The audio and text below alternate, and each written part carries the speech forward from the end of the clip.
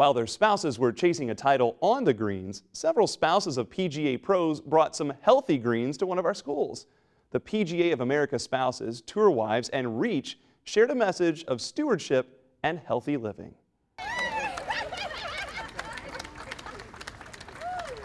This gift will serve as a complement that will, will complement the incredible gardens and reading area built today for the students of Engelhard Elementary. Well, today we had the opportunity to host the PGA Wives and PGA of America Spouses who came together on a joint venture.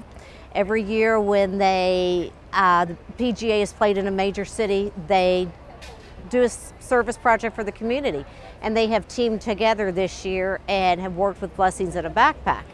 And when they contacted our local Blessings in a Backpack office, they said Engelhard Elementary is the perfect place because last year we started a garden club and we had three raised beds. They have expanded that to nine raised beds uh, with different themes. They're uh, pizza garden, sensory garden, and they just flower garden.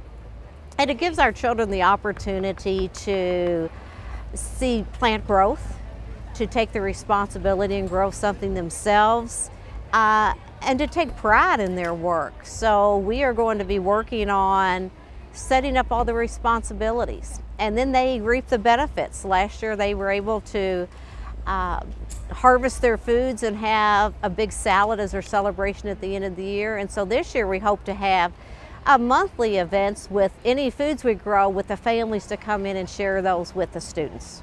We love our students and I have a very dedicated staff and anytime we can do anything and provide opportunities for our children, we are going to do that. Even if it takes the extra time from us, we are going to do that.